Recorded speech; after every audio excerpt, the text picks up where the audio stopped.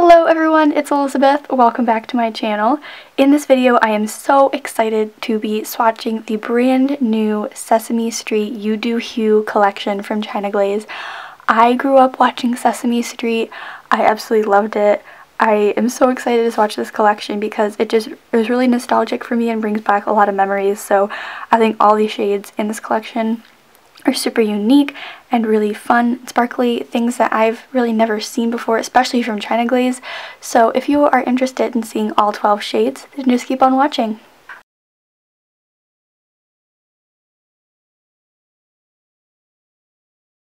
The first shade up is Living in the El Moment, which I love that name because of Elmo, and this is a gorgeous red almost jelly base shade with these amazing flecks of holographic glitter. This is such a gorgeous polish, especially with the 4th of July and all these patriotic holidays, as well as like you could even do this one for Christmas, but I really love red polish just for the summer in general. And the fact that this one has some gorgeous glitter in there is going to make it perfect for summer because when the sun shines on your nails, that shim that glitter is just going to be absolutely gorgeous. So there's the first coat. I'm super impressed with the formula. So here is the second coat.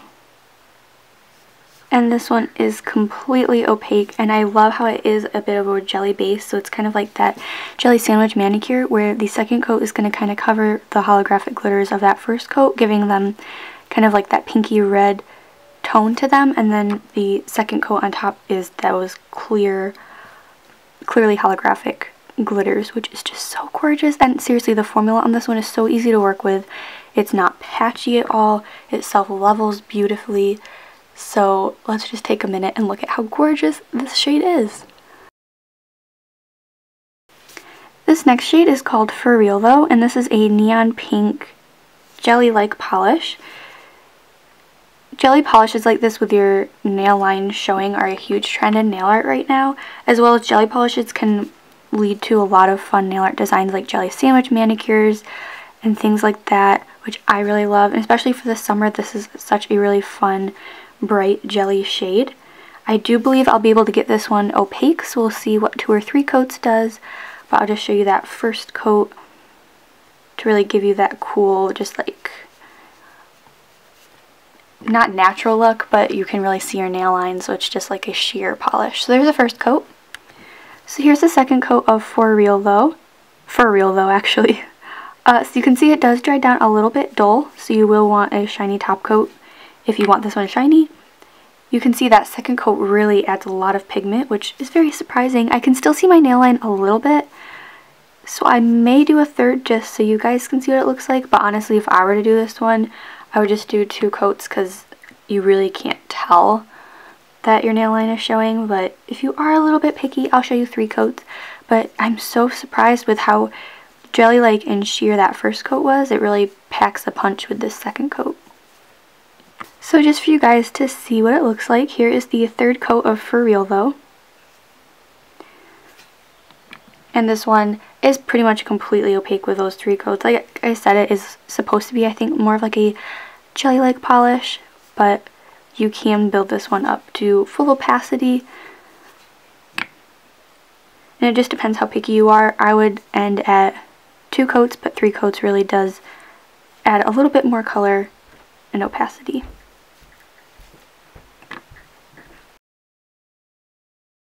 Now this is one of the polishes that I was most excited to swatch. This is Monsterpiece, and this is a pink jelly base holographic glitter polish. This is swatching beautifully. As you can see, there's no streaks.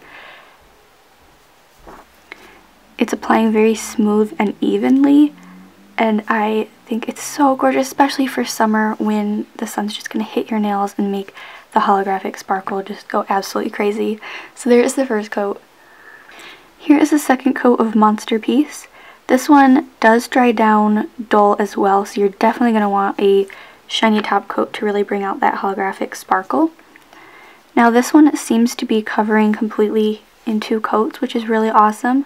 You guys know I do thinner coats, so just keep that in mind. But yeah, two coats does make this one completely opaque, true to that color in the bottle and I am so impressed with the formula on this one, how smooth it's going on. The glitter isn't really textured at all, so it's super smooth and I am just obsessed with this one because I've never been the biggest fan of pink and this one is so pretty. This sheer jelly-like polish is called I Count Even. So this one has, like I said, a really sheer base to it, but it has a really nice lavender tint to it. So it's kind of like my nails, but better. It's almost like no makeup makeup, where you're going to add some just like small perfection to your nails. It's going to kind of create just like a color correctingness to it on that first coat. I will do two coats, but this is going to be a great one for that jelly sandwich manicure I was talking about. So here's a second coat of I Count Even. And then it just adds a beautiful tinge to the nails. So I really like this one. It's going to be great for just kind of like, it could even be used for a French manicure base because it really just makes your nails look natural but just better. It's going to give you that really nice color correction like I said. So I'm going to stop at two coats. Three coats might even just make it a little deeper, but you're not going to get this one fully opaque, but I think that's totally fine because you could do fun jelly sandwich manicures or French manicures. Their possibilities are endless with a sheer jelly-like polish like this one, and I don't really have anything like this purpley tinged in my collection, so I'm really excited about it. This polish is called Ah Ah Amazing, and this is a super fun frosted lavender shade. It has that, like I said, frosted metallic finish to it, so I'm assuming you're going to want to be careful with your brush strokes. We'll see how self-leveling this one is, but especially on that second coat or whatever coat makes this one fully opaque, you just want to make sure your brush strokes look nice and even. A top coat usually can smooth out any of those brush strokey lines you see, but this one is a super fun shiny polish. Here is the second coat. This one has a really nice formula that's super easy to work with.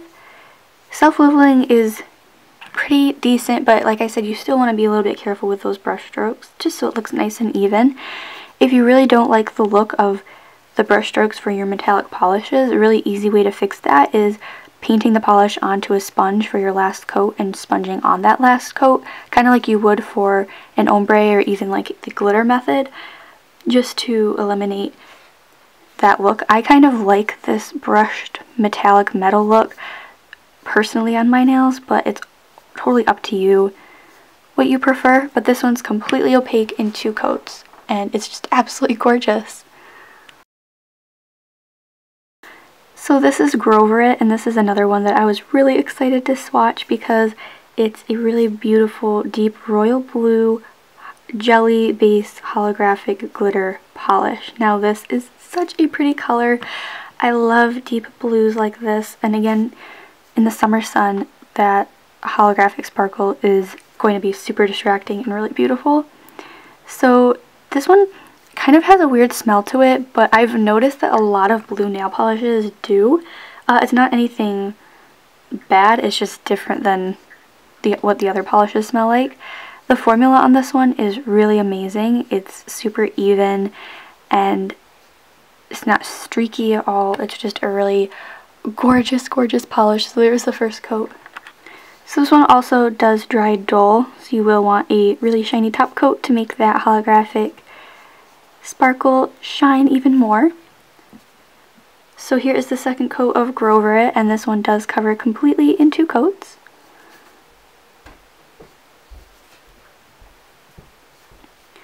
I'm really obsessed with this one, especially you know, with 4th of July, and I know I keep saying like patriotic holidays, but I think it'd be really fun to wear this one in some 4th of July nail art, which is coming up very soon. So, I mean, let's just, again, take another minute and look at how gorgeous this is.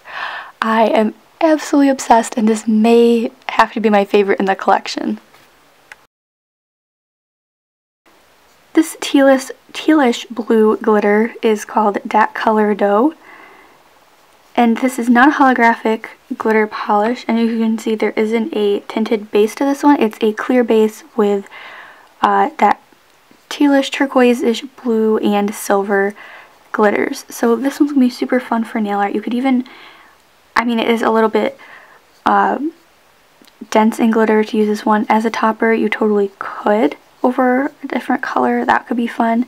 But I bet I can get this one pretty opaque in two to three coats, but I will say this is a super glittery polish, so if you really want the glitter to be super dense, you're going to want to do the sponge method where you just paint the color onto a sponge and sponge it onto your nails. So here is a second coat of that really fun glitter. So this one does get pretty pretty dense with that second coat. I will show you a third but like I said, doing the sponging technique is really going to give you the most impact density, glitter density wise. This is a super fun polish. Again, in the sun, those glitters are just going to shimmer and sparkle all day. So I love this one. So finally, here is the third coat of that color dough.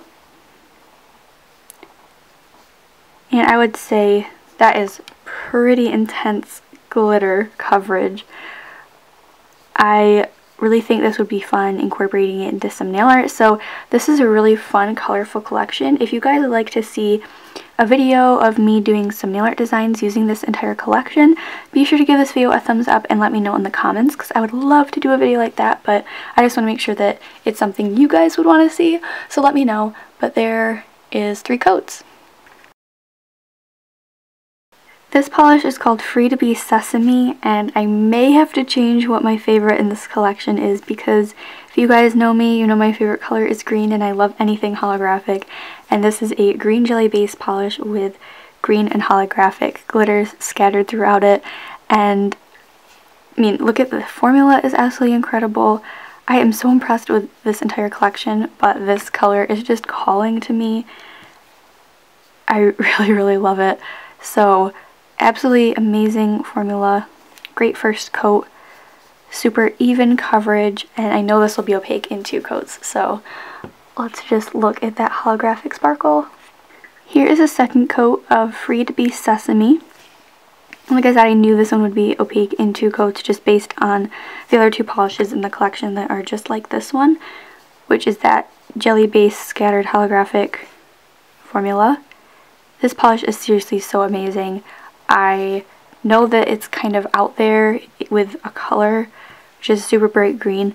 I love wearing polishes that are kind of crazy like this, like I said, especially in the summer, but you do you. If this isn't, isn't a polish that you would, you know you wouldn't wear, I can understand, but it's absolutely gorgeous, and the holographic sparkle in there is just so beautiful, so I would definitely recommend checking out this entire collection so far. I know we have a few more polishes to swatch, but I already know this collection is really unique and absolutely amazing.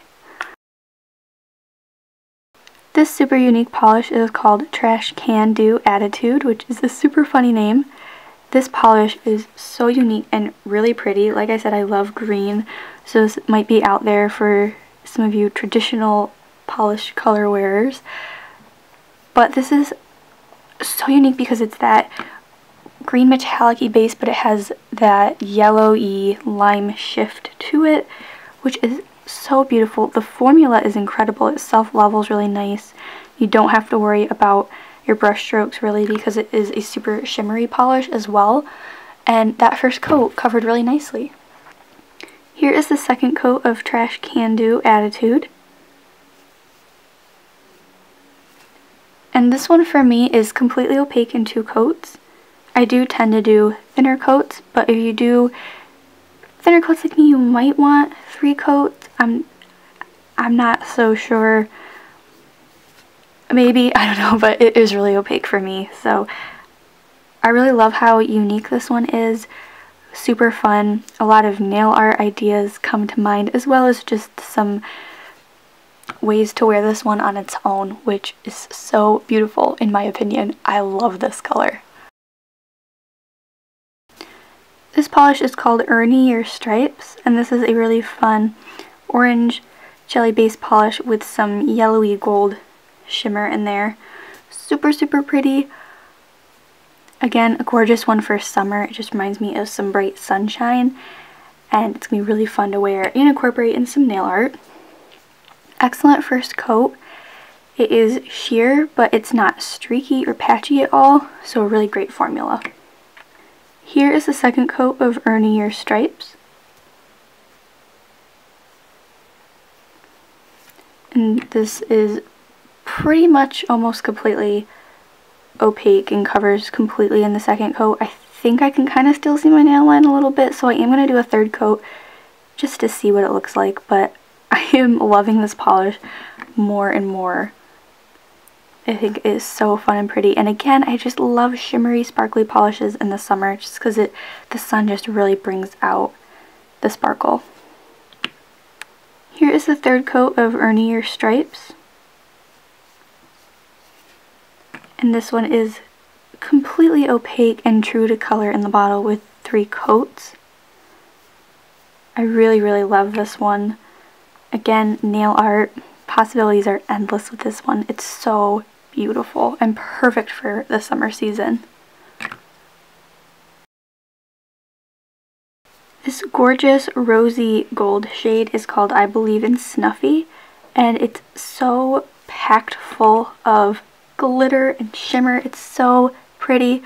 I know I keep repeating myself, but can you just imagine this one in the sun would be absolutely gorgeous. This is a really cool, almost nude shade but with that sparkle and shimmer it just really pops on the nail. I can see myself wearing this one a lot because it can be more of like a formal shade but when it has that sparkle and glitter in there it does just give that really awesome effect. So here is the second coat of I Believe in Snuffy and this covers completely in two coats. I really can't get over how surprised I am with this one too because I'm not the biggest fan of pinks and I just this one in the bottle just really wasn't calling to me but it's just one of those things where once you put it on the nail it's like oh my gosh. They're really I have I think one polish left. Yeah one polish left in this collection to swatch but there hasn't been one that I don't like in this collection yet. So that's really surprising because usually there's a couple I'm just not really feeling, but I really love all of them. So there is two coats and it's so beautiful.